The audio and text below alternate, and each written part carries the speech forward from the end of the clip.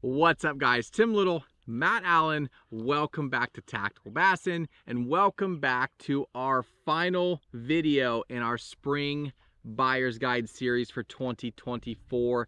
Today we're talking high-end gear, rods and reels that came out of our rod locker that we use day in and day out.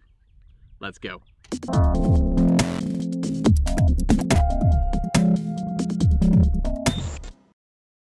All right, guys, we've made it to the final video in the Buyer's Guide series. You guys know we love high-end tackle. We know that you guys love it too. Some guys are passionate about high-end gear and you want to know specifics of rods and reels for spring. Other guys just want to see that high-end tackle and we understand that too. There is no price point here. Some of this stuff is really high-end. Some of it is surprisingly affordable because it is the truth of what we are fishing with. We each got a handful of combos sitting in front of us and we're just gonna walk you through them. Yeah, when we put this, sorry to cut you off. No, when we good. put this video together, this whole series has been spring bass fishing related. So as we were trying to dream up the, because it's hard to limit 10 or 11 or 12 rods, whatever we ended up with, but it's hard to limit the rod locker, right? Like we're, we're, our rod lockers are loaded. Stack them in So there. like, all right, what are the key techniques that we need to be throwing this time of the year? So that's how we came up with this lineup. We came up with 13, by the way, when we were shooting for 10. It's just the number one thing that I like to do with a bass boat is rip whatever tackle or whatever rod organizer is in there out and then cram as many rods Stack in 'em. there as I can get. All right, we're gonna kick this thing off. Uh, you mind if I go first? Please do. Megabass P5 Destroyer. Specifically, we're talking about a jerkbait rod. Springtime, jerkbait fishing is a major deal. Talking high-end rods, easy choice. This is in the P5 line. This is the 110 stick. Not the 110 special, the 110 stick. This is an amazing jerkbait rod. Uh, it's a little bit shorter, six foot five, but the action is dead on. So I love to throw that 610 medium Expride, but I also love throwing that 110 stick. If you're a slightly shorter guy, you know, working a jerk bait, it's easy to hit the water because you're working that rod down. Or the gunnel, yeah. That that sh- yeah. Bam. oh, it's the worst. That 110 stick has the precise action that you need to throw a jerk bait in that shorter length. Paired to a Shimano Aldebaran MGL, 10 pound fluorocarbon. You can go to 12 pound if you're throwing the bigger jerk baits, but 10 pound if you're throwing like the 110 Junior plus one, something like that. That rod is insanely light, insanely sensitive. If you've never had one of those slackline jerkbait bites, like twitch, twitch, let it pause. You're sitting there, there's slack on the water, and you just see all the slack jump, and you're all just like spring jerkbait bites can be incredible, and that is a fun rod for doing that technique.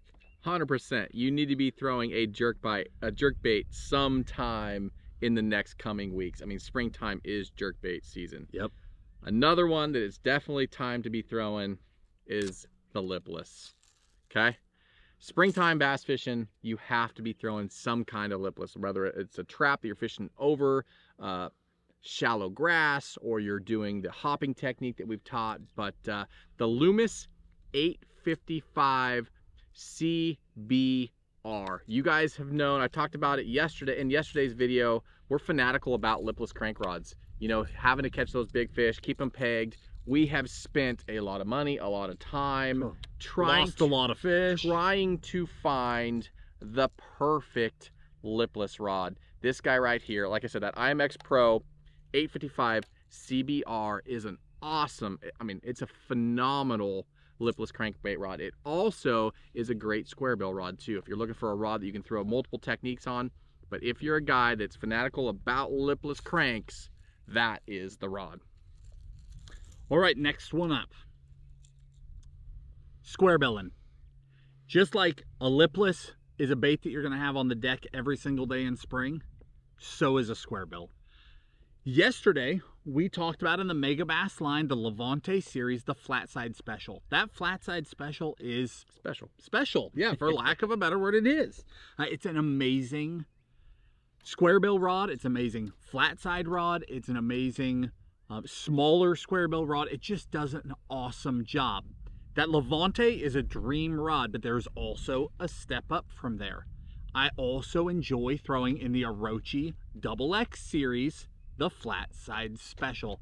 Just more sensitive, lighter in the hand, very comfortable to fish. I have that paired. It's not the highest end reel laying here, but it's the truth of what I like to throw from 13 fishing. It's the Concept C2. The Concept C2, we've talked about it in the past, is one of those reels that is insanely light. It's in the same ballpark as an Aldo, not as light as an Aldebaran, but in the same ballpark. It's extremely light for its size, and for its price, it's crazy light. Crazy light. That pairing is just so, so comfortable. And for me, square billing in the spring, day in and day out, 12 pound fluorocarbon and go. Speaking about reels, I didn't talk about reels on this last combo.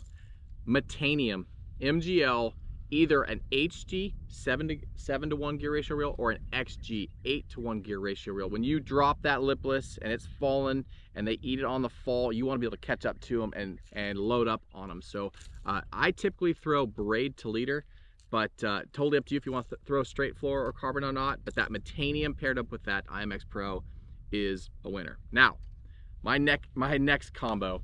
How do you talk about a spring fishing video without talking about a chatterbait? Yeah, this is just like the right down the line Yeah. key baits that you have to have.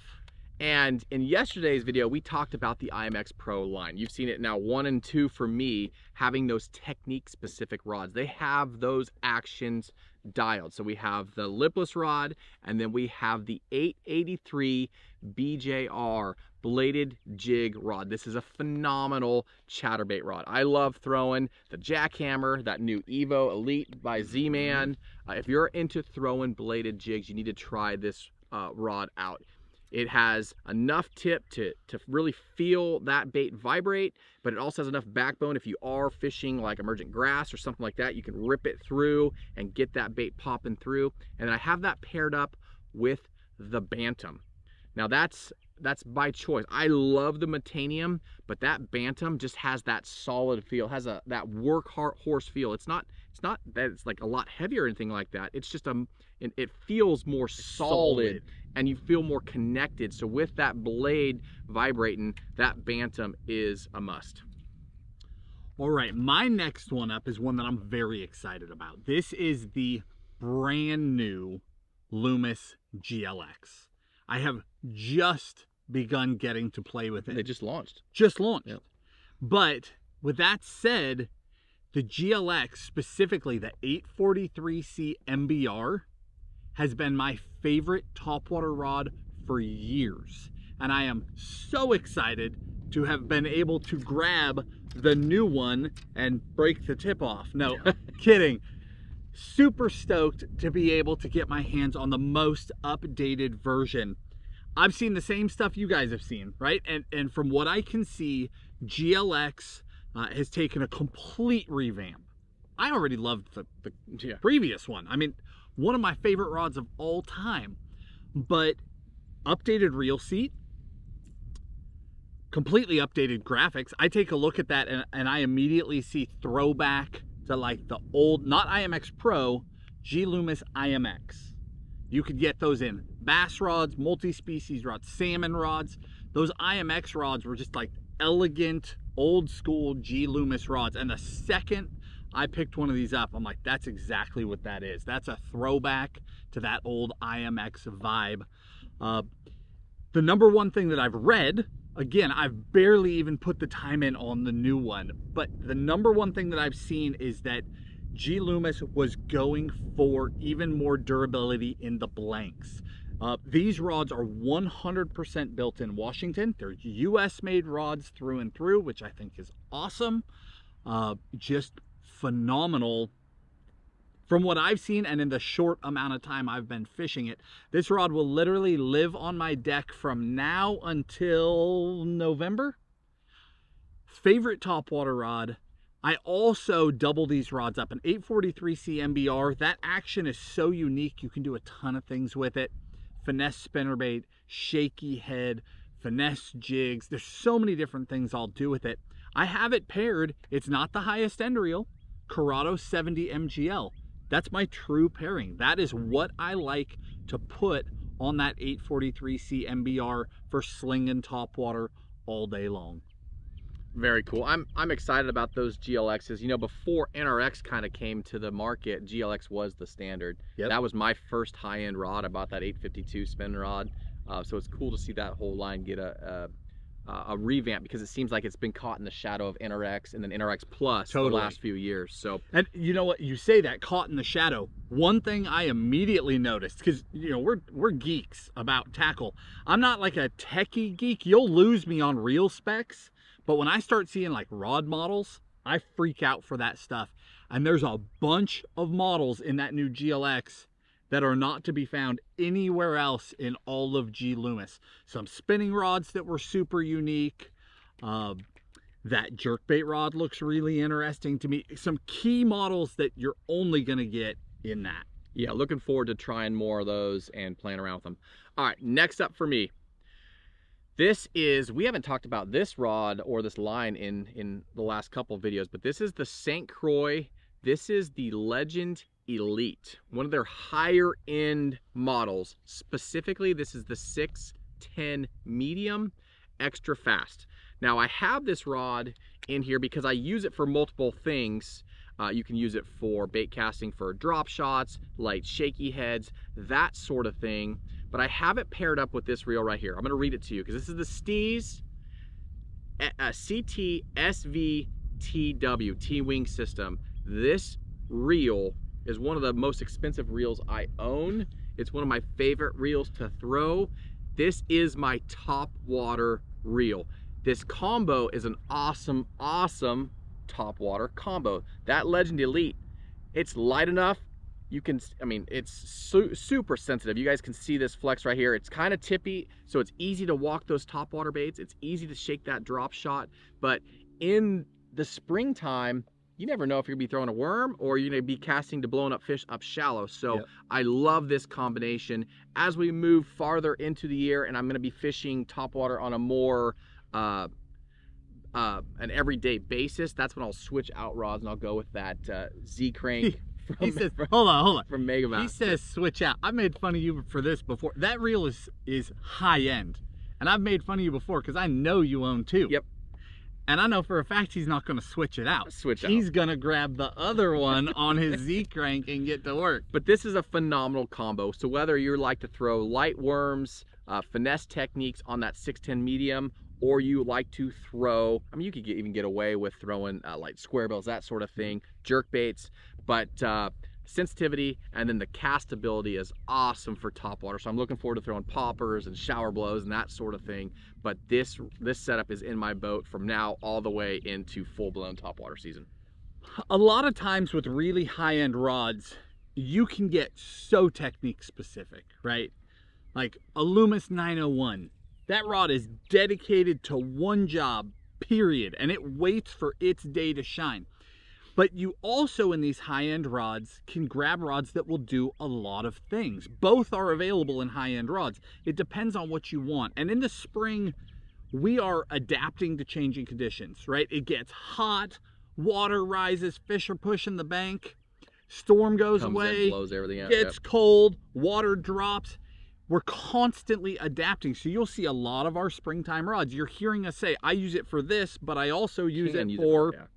That's because we're constantly adapting. And that plays into our choices for springtime rods as well.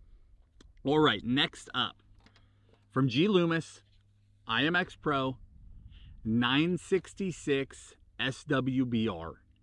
This is our hands down number one. If you could only have one swim bait rod, that's the one. Yesterday, I talked about my favorite Magdraft rod. I talked about my wake bait rod. But there are more times than not, If I don't know that I'm on a swim bait rod, I stick one rod in the boat, right? Right. Just so I know I'm covered. And a box of mixed swim baits, and that rod will always be a Loomis 966 because this is the only dedicated swim bait rod we've ever found that can throw all of it. It can throw giant glides, it can throw medium glides, it can throw big soft baits, smaller soft baits, jig hook baits, treble hook baits. You can do it all on one rod. Paired that up to a Tranx 300 HG. That high gear is critical when horsing those fish and knocking them down and dragging them to the boat.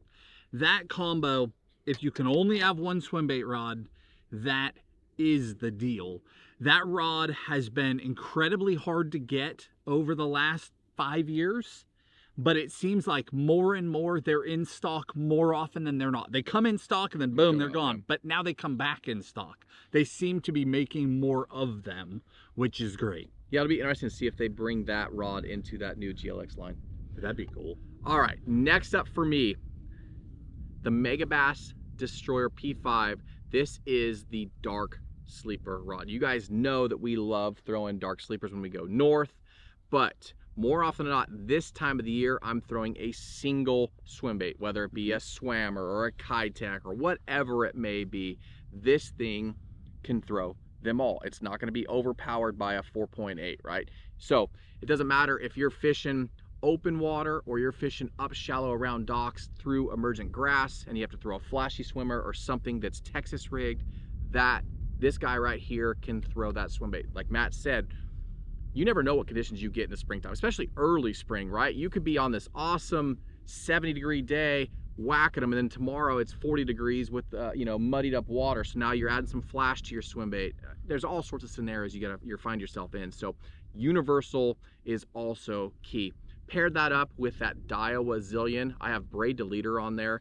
Again, we love throwing braid. You have that ex added extra sensitivity, low stretch. You have the versatility of changing out your uh, leader to whatever technique you might be fishing, right? If you're fishing open water, uh, uh, Matt Allen head with a Keitech or a swammer, and you have that exposed hook, you might throw a little bit lighter leader. If you're throwing a flashy swimmer on a, uh, a swammer on a flashy swimmer through grass or through brush piles, you might need to throw a little bit heavier mono leader. So that's why we throw that braided leader. But that uh, that dark sleeper rod, it's even though it's completely designed to throw the Megabass dark sleeper, which Right. it's great for, it also throws a lot of your favorite sized uh, swim baits really, really well. Can, can I add one more to that? Because I, I found kind of a sneaky application for that rod earlier this year fishing with you.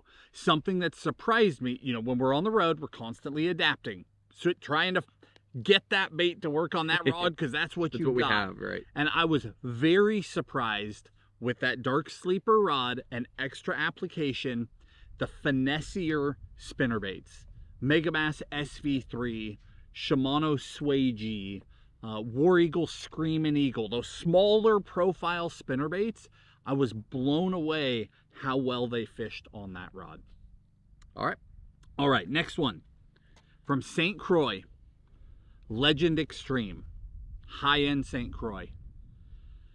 Specifically, this will not be a surprise if you've paid attention at all. 7.4 Heavy. That 7.4 Heavy is collectively our favorite model in the St. Croix entire rod family. It's just one of those rods that shines at a bunch of different things. When you need a power fishing rod in the boat in the spring, it's the deal and it does not get higher end and more sensitive in that action than that rod right there.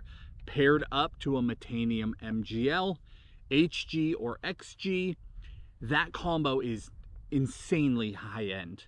When I'm picking this up, in my mind, I'm throwing a four to a five and a half inch swim bait. You know, beast hook, weedless Keitech, uh, weedless Exxon swammer, uh, throwing the flashy swimmer, throwing a half ounce swim jig.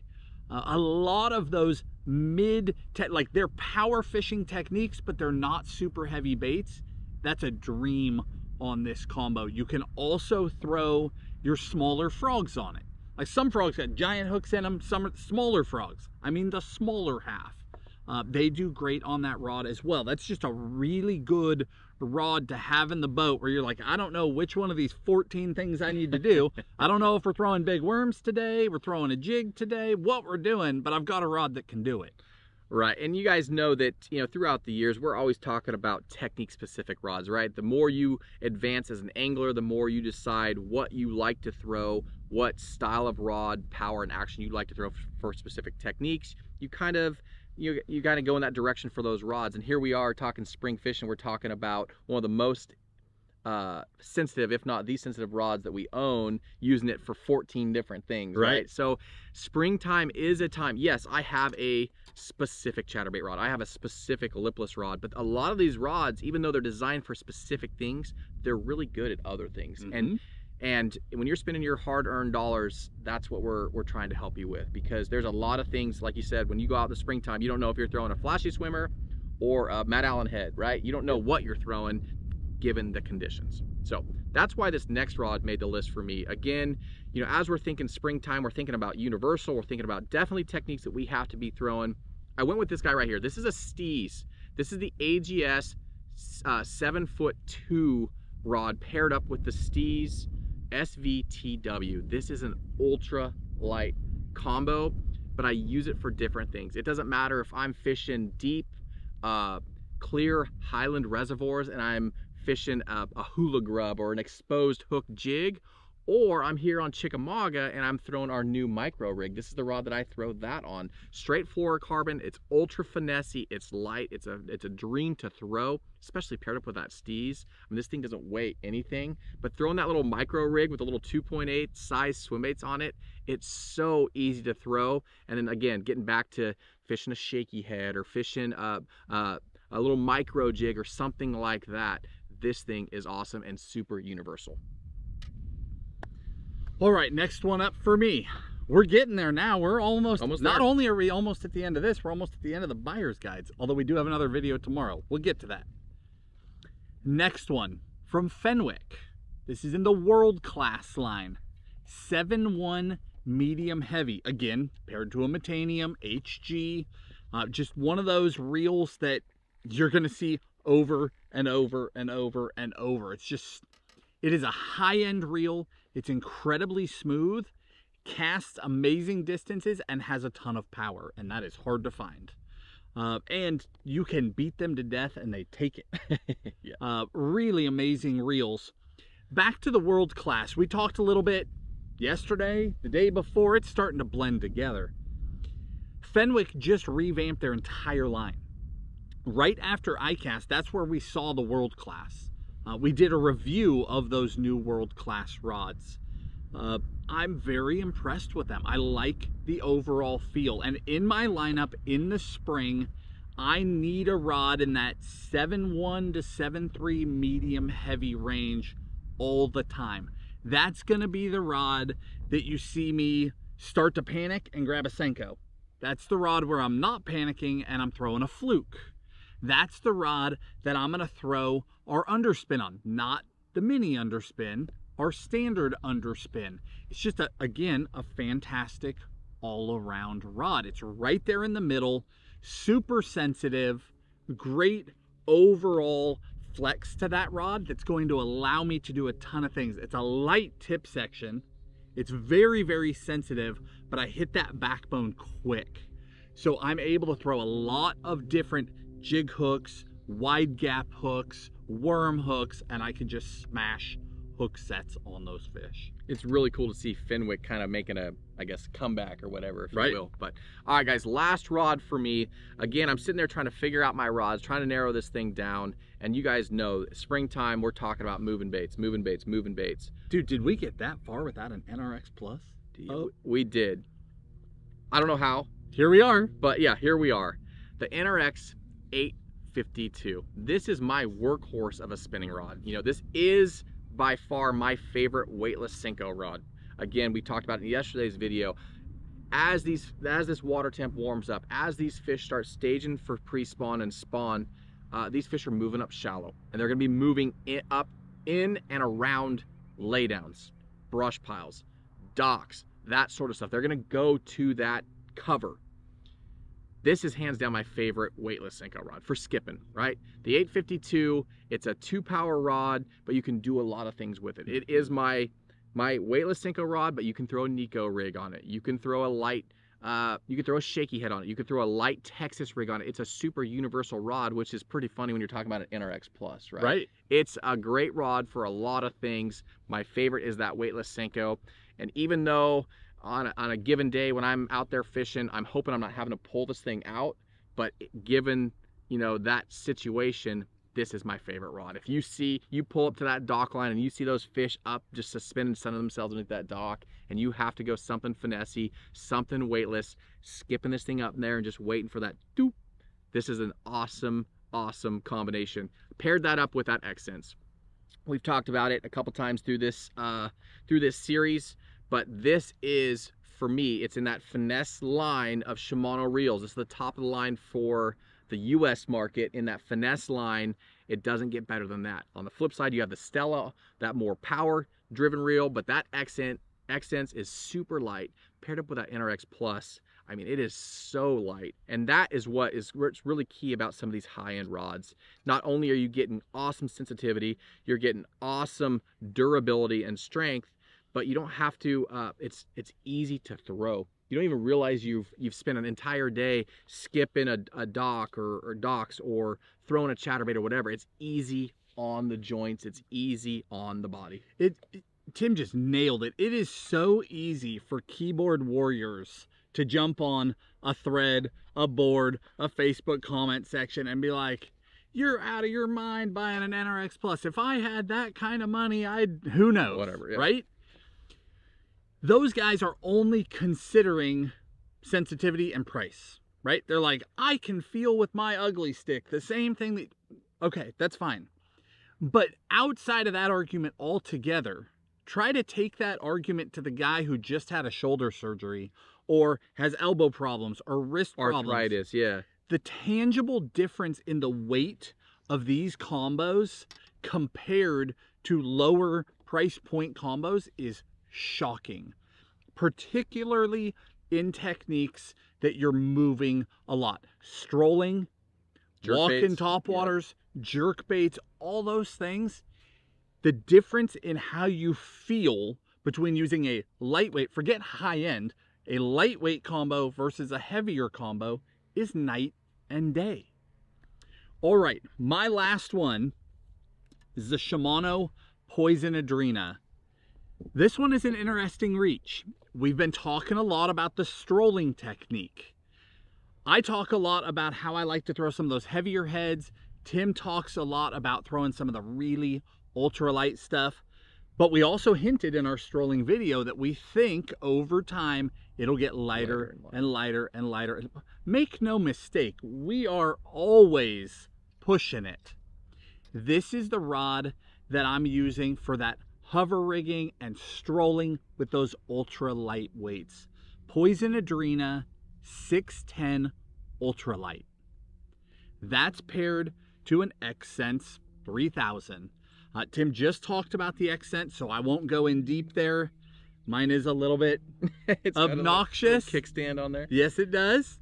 Uh, I do enjoy high-end tackle. I mean, that's just that's just the way it is. And every once in a while, a guy wants to be matchy matchy, right? It's all good.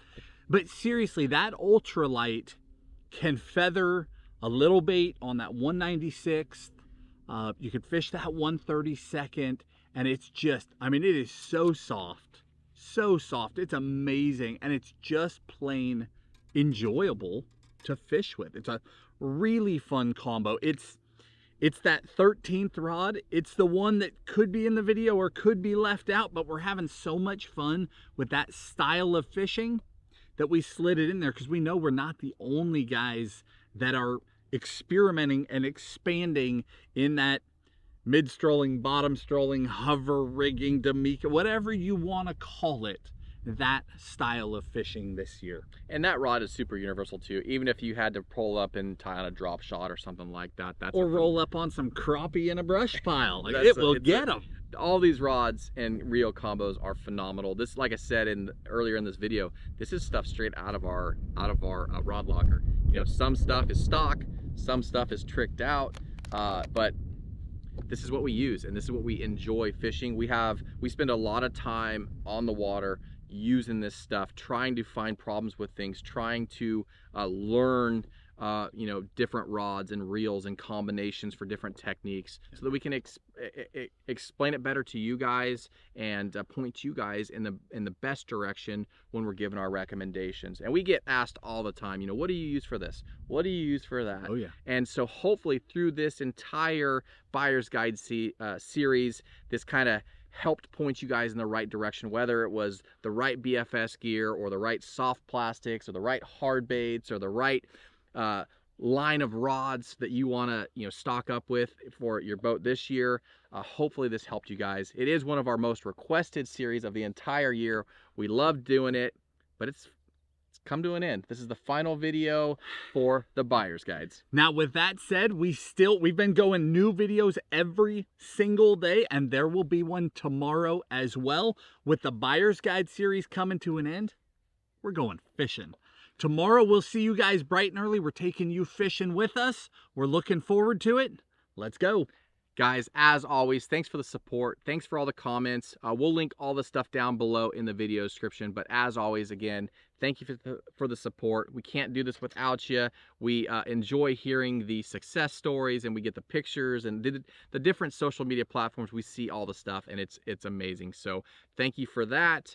Uh, if you like this video, if you like this series, hit that thumbs up button. button. Like the like the, uh, the video, and then subscribe to the channel. We're doing six videos a week for you guys, so hopefully you guys aren't missing them on the on the different days and the different You're platforms. bound to miss one somewhere. That is a lot of it's, content, it's but we're doing everything we can to help. If right. you guys, again, if you enjoyed the video, hit the like button, subscribe to the channel, and we'll see you tomorrow.